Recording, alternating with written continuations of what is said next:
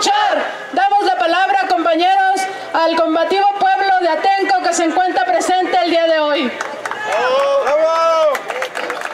Gracias. ¡La tierra no se vende! Se ama y se defiende. ¡Atenco no se vende! Se ama y se defiende. Reciban un saludo de las comunidades afectadas directamente y también las comunidades que están siendo afectadas indirectamente. Les menciono de esta manera porque los gobiernos actuales parece que no existimos. Nos han ignorado por 17 años y pretenden seguir con esa estrategia.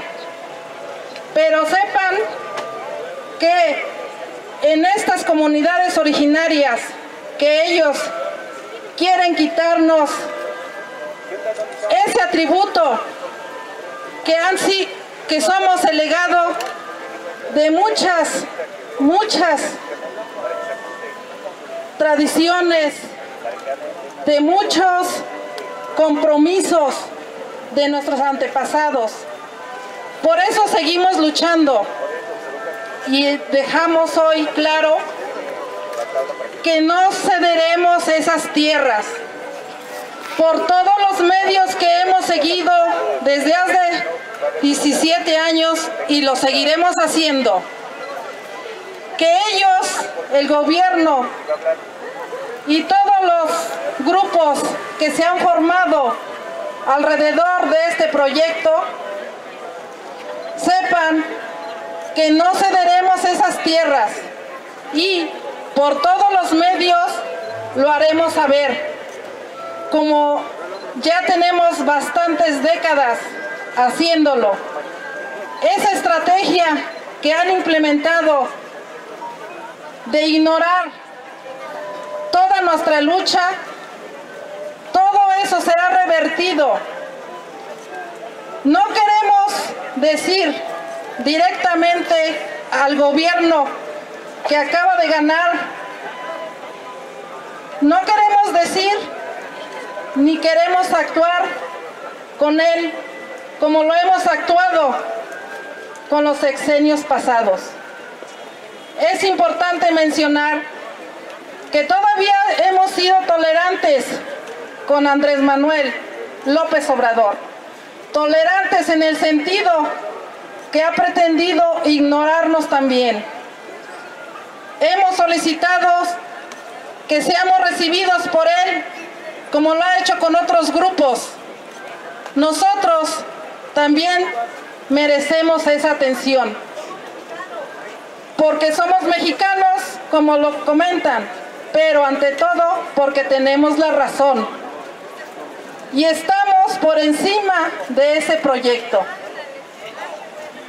Los argumentos que han ahora están haciendo visibles todos los científicos y organizaciones que nos han acompañado durante 17 años, ha sido trabajo de convocatoria del Frente de Pueblos en Defensa de la Tierra.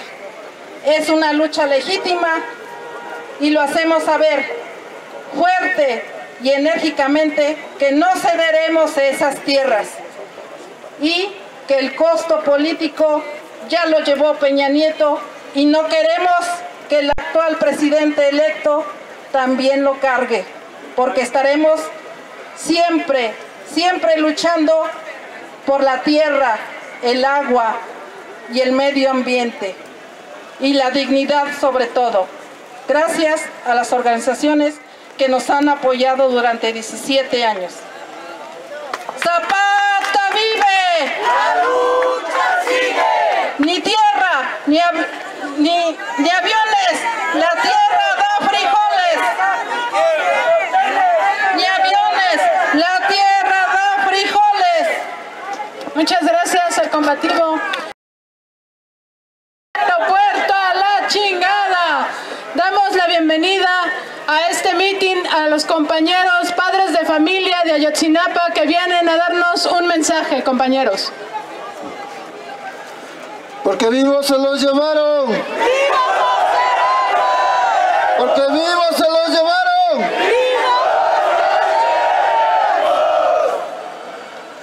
Pues más que nada agradecerles a todos ustedes que están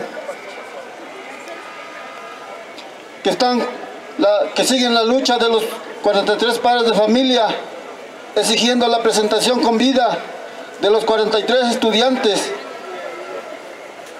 a 47 meses de llevar a cabo exigiendo a este gobierno de saber el paradero de los muchachos y no hay ninguna respuesta. Casi a cuatro años exigiéndole a este, este gobierno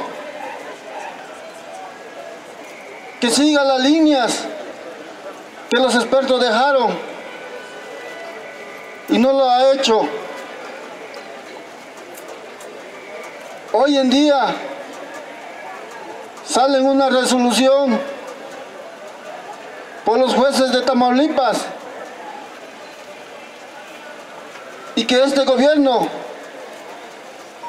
le puso obstáculo para que, para que no siguiera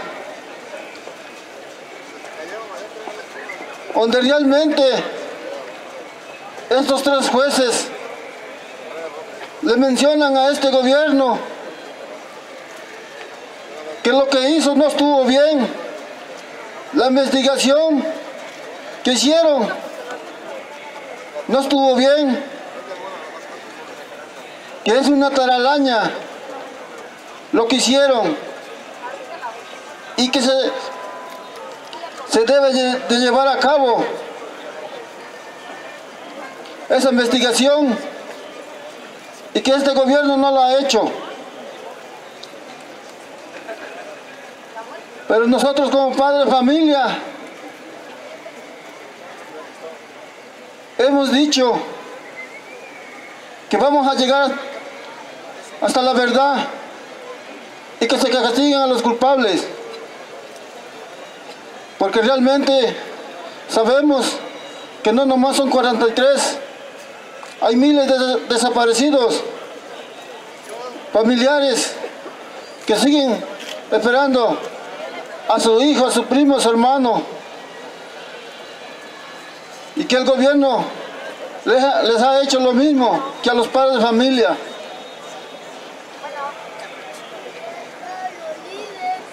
Nosotros como padres de familia vamos a seguir luchando. Y que si este gobierno se va, pero no se va ahí sin ser castigado, que se le debe de investigar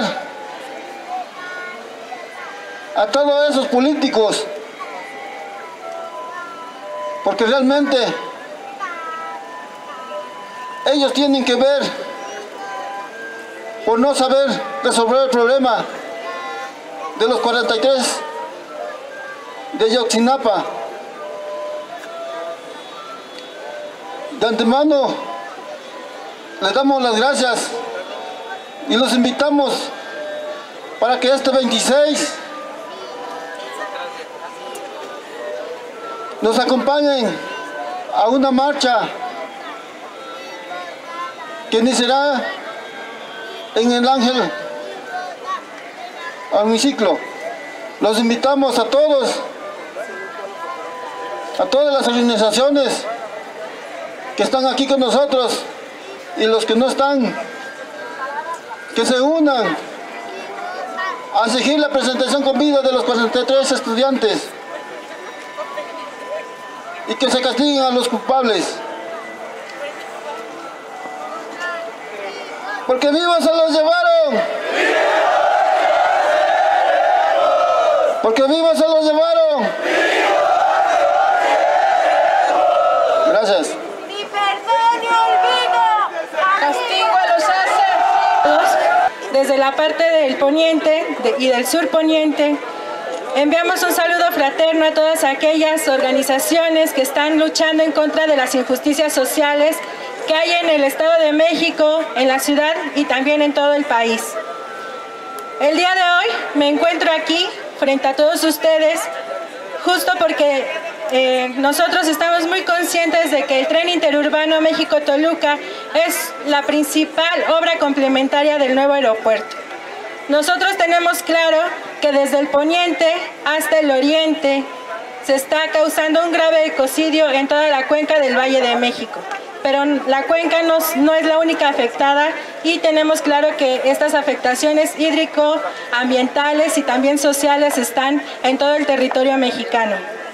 El día de ayer, Enrique Peña Nieto hizo declaraciones que agravian a todas las personas que estamos luchando en contra de la imposición del tren interurbano México-Toluca. Él calificó de advenedizos, de extorsionadores y otros, y otros términos peyorativos a quienes estamos luchando en contra de la imposición y del daño hídrico-ambiental que hay en los manantiales y en toda la zona de bosques y barrancas al poniente de la ciudad. Nosotros le aclaramos y decimos de frente al Señor que no somos nada de esos calificativos que, que, nos está colgando. Únicamente estamos luchando por la defensa de nuestros derechos, del agua, de la tierra y estamos también en contra del despojo que está causando tanto en el Estado de México como en la ciudad. El tren interurbano México-Toluca, como ya lo mencioné, está afectando manantiales. Hasta este momento se calculan más de 22 manantiales afectados, además de afectaciones en la subcuenca hidrológica que hay en el poniente, de aguas que descienden desde la Sierra de las Cruces. Es por eso que nos encontramos aquí el día de hoy para saludar fraternamente a todos ustedes y también para pronunciarnos en contra de los megaproyectos de muerte. Agua sí, megaproyectos no. Agua sí, megaproyectos no. Agua sí, megaproyectos no. Muchas gracias a Muchas gracias.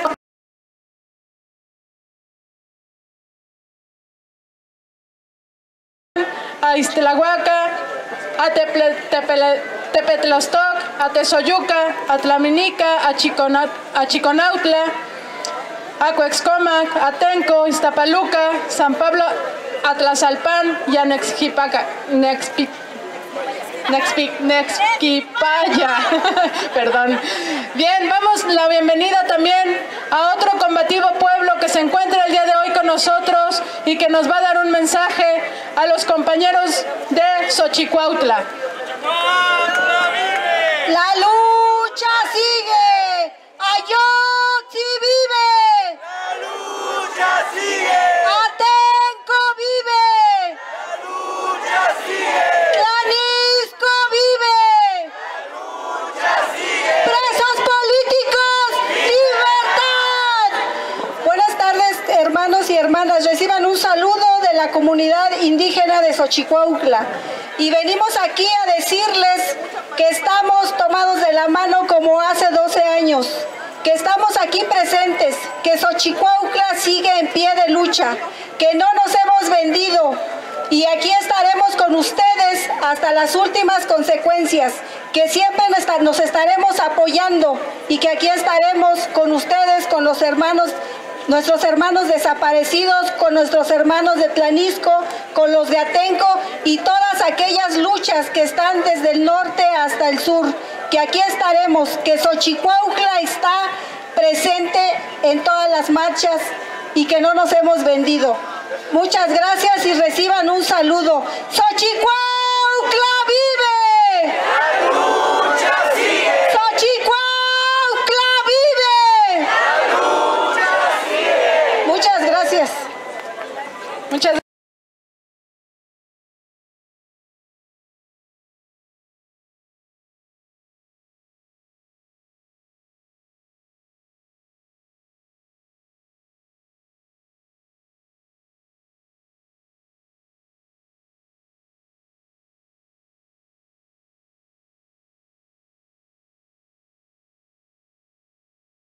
a Iztlahuaca, a Tep Ayuntamiento de Villa Guerrero hacen un convenio amistoso donde nos expropian una parte de nuestra tierra.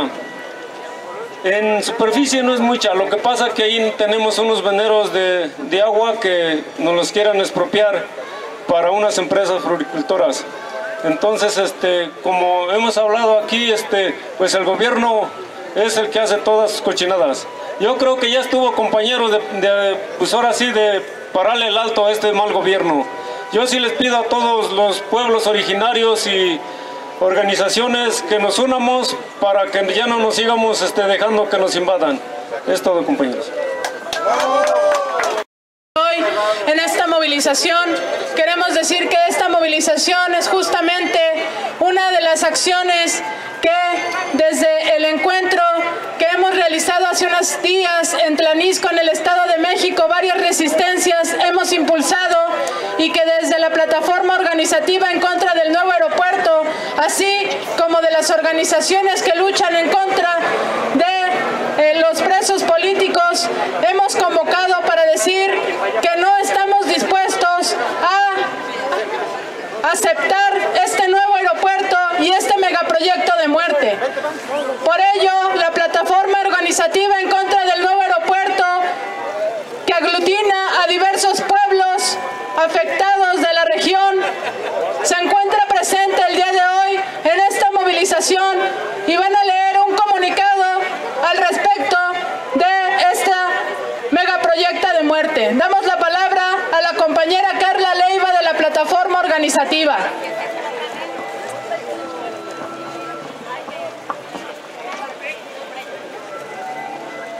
Bueno, buenas tardes. Eh, aquí hay unas palabras, un mensaje de la plataforma de los Pueblos Unidos contra el nuevo aeropuerto y la aerotrópolis. Somos hombres y mujeres de pueblos y comunidades que vivimos la tragedia de una decisión de los de arriba, porque a nuestras tierras ha llegado una fuerza muy grande que destruye todo lo que toca. El proyecto del nuevo aeropuerto internacional de México, que significa la, la muerte de nuestros pueblos. Somos hombres y mujeres, colectivos, organizaciones y activistas en defensa del medio ambiente, los derechos humanos, académicos, jóvenes y estudiantes, que defendemos también la vida en la cuenca de México. Somos los habitantes milenarios del viejo lago de Texcoco, agrupados en el Frente de Pueblos en Defensa de la Tierra, que hemos defendido la tierra desde 2001. Para el proyecto del NAICM no se nos consultó y además se violaron nuestros derechos, se nos encarceló y persiguió.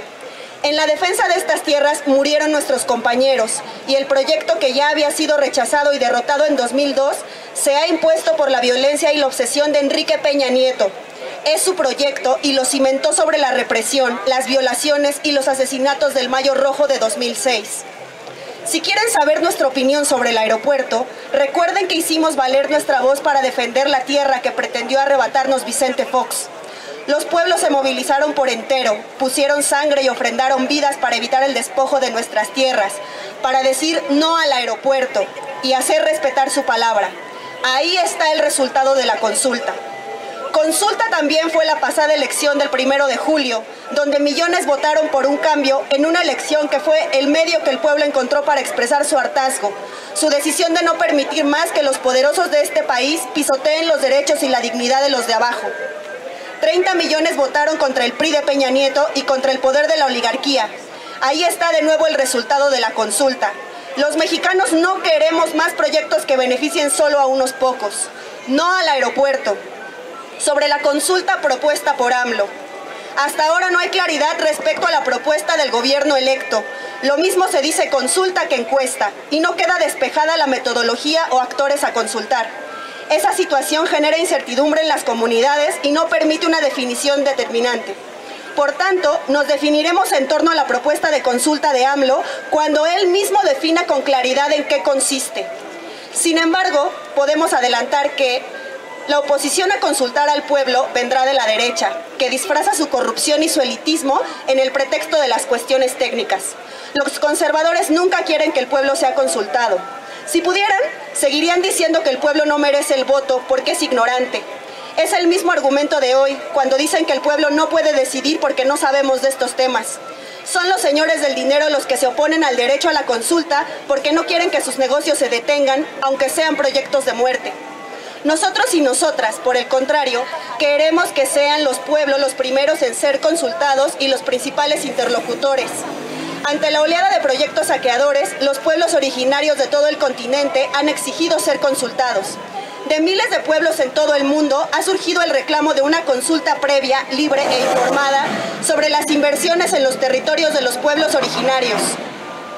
Para este caso, una consulta con esas características ya no es posible, porque la avaricia y prepotencia del PRIAN impuso como una decisión de hecho el inicio de la devastación del nuevo aeropuerto. Precisamente los beneficiados de la construcción del nuevo aeropuerto, los que elaboraron un plan de negocios multimillonario, buscarán entorpecer cualquier ejercicio democrático en torno al NAICM. Conocemos de sobra sus mañas y sabemos que su poder está intacto.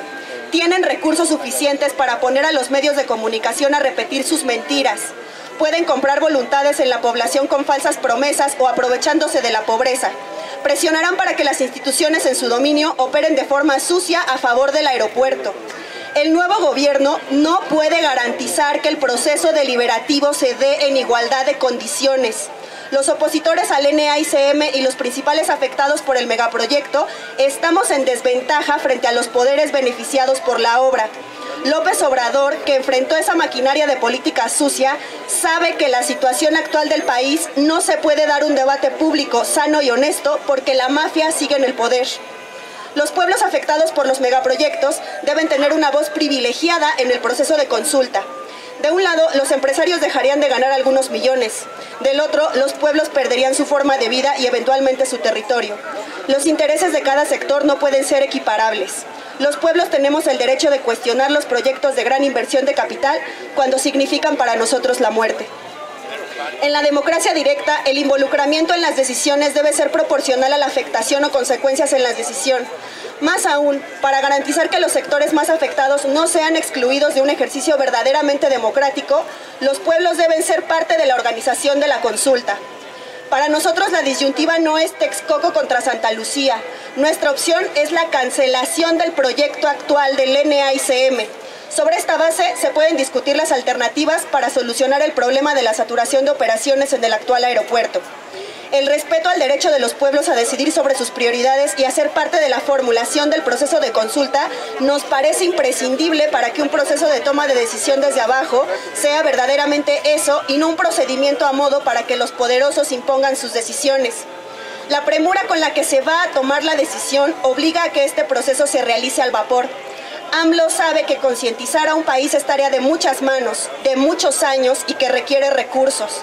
En un periodo tan corto es prácticamente imposible llevar la información sobre la inviabilidad del proyecto aeroportuario al grueso de la población. Los ejercicios democráticos también demandan tiempo. Apresurar la decisión va en detrimento de la calidad democrática de la consulta.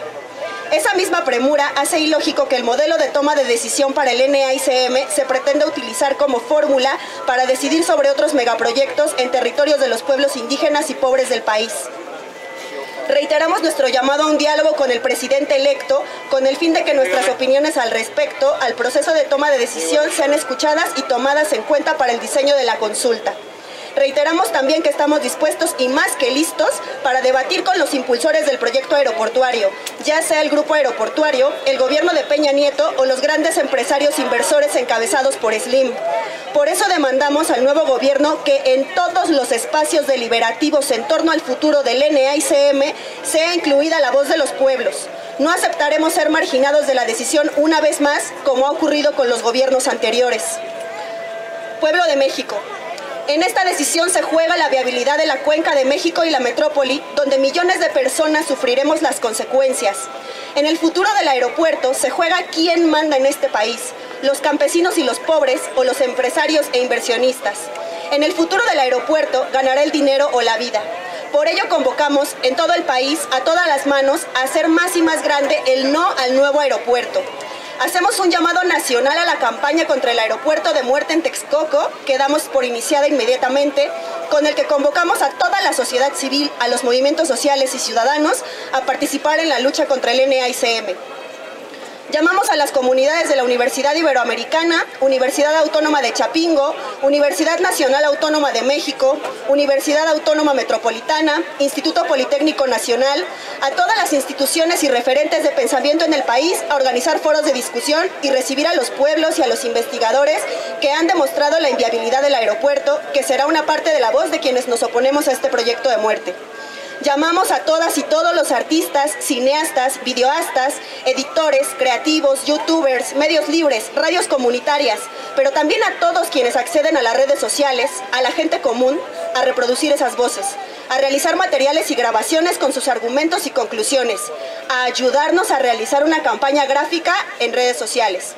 Convocamos a realizar la caravana por la vida y contra el aeropuerto que visitará a todas las comunidades afectadas para que se escuche directamente la voz de los pueblos que sufren el despojo y la devastación. Esperamos la participación en estas caravanas de una representación del gobierno electo. Además, llamamos a las organizaciones populares, de estudiantes, ambientalistas y de derechos humanos a ayudarnos a organizar esta iniciativa. Por último, llamamos a todos aquellos que defienden la vida de la Madre Tierra, a los jóvenes de la metrópoli, a los habitantes de la ciudad y el Estado de México, a las y los trabajadores y sus organizaciones sindicales, al movimiento urbano popular, a la comunidad artística, a los escritores y académicos, a los universitarios, a los campesinos y pueblos originarios de la cuenca y del país, a todos aquellos que creen que la vida está por encima de, del dinero al que después a que después de los foros de discusión y los recorridos realicemos en octubre próximo una movilización en defensa de la vida y la tierra contra el aeropuerto. Tierra sí, aviones no. Zapata vive, la lucha sigue. Frente de Pueblos en Defensa de la Tierra, Pueblos Unidos contra el nuevo aeropuerto, Plataforma Organizativa contra el nuevo aeropuerto y la Aerótrópolis. Tierra sí, aviones no.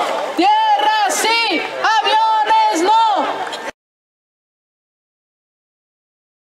Los compañeros de Atenco les pedimos que se acerquen hacia, vaya que tomen un lugar de este lado, quizá a su izquierda. A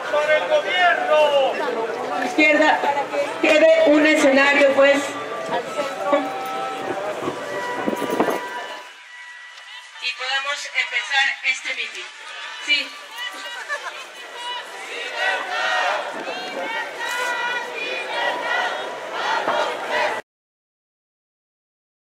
Pertenezco al municipio de Tepetlastó, un municipio que ha sido devastado con más de 60 minas, más de 60 minas de Tezontle, Tepetate, Basalto, ese mega- megaproyecto de muerte que está devastando todo nuestro medio ambiente de la región.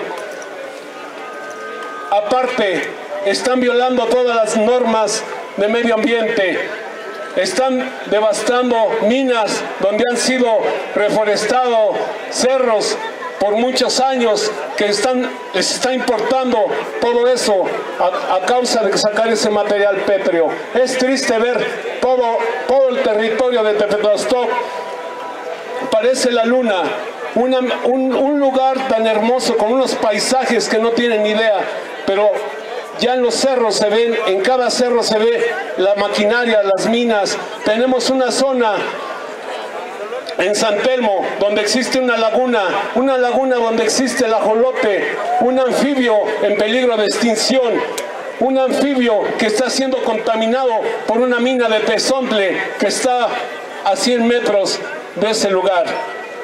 También se encuentran varios manantiales de agua que han sido explotados por esa dinamita, ese, ese C4 que han, han espantado esos manantiales donde se encontraban en San Pedro Chaucingo. Todo eso se está, se está acabando, es triste. Aquí es un nido de corrupción de los tres niveles de gobierno, federal, estatal y municipal, porque el mismo presidente municipal no ha hecho nada, al contrario, dice él que ya trae sus permisos y que él no puede hacer nada. Entonces, ¿dónde queda la autonomía del municipio?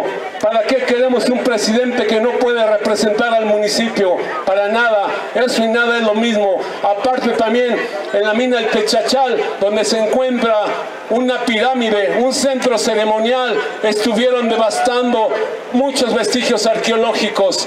Yo metí una denuncia al INA y es triste, es triste decirlo, el INA también está corrompido. El INA me dijo que no había ningún vestigio arqueológico. En principios de este año fue un supervisor de antropología y comprobó que ahí existe un centro ceremonial, un centro ceremonial que ya se acabó, ya no más quedó la pura pirámide en el centro, como si fuera un panqué, nada más quedó en el centro. Es triste.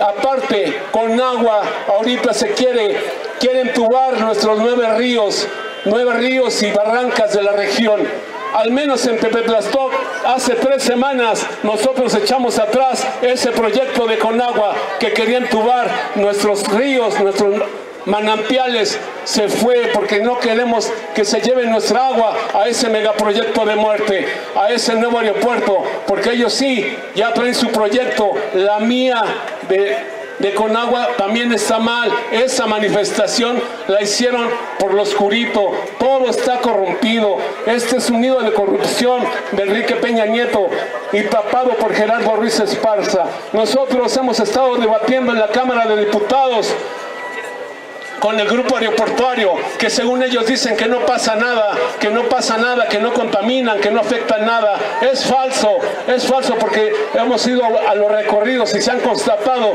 de todo lo que está pasando en la región, no nomás en Tepetlastok, San Luis de Cuautitlán, San Martín de las Pirámides, San Juan Teotihuacán, Tezoyuca, todas las zonas mineras que han sido devastadas, Otumba también no se diga, muchas minas que son del grupo Coconal, que esa empresa igual corrompida del nefasto Enrique Peña Nieto. Por eso es que estamos aquí en pie de lucha con los compañeros de la plataforma y del Frente de Pueblos, porque tenemos que unir fuerzas, tenemos que unir varias organizaciones para echar atrás este este aeropuerto de muerte, porque de verdad no se necesita la consulta. Yo le dije a una persona que está con AMLO que fuera a hacer un recorrido. ¿Para qué quieren consulta? Que vayan y constaten lo que han afectado a los pueblos originarios de toda la zona oriente y que nos quieren dejar también sin agua.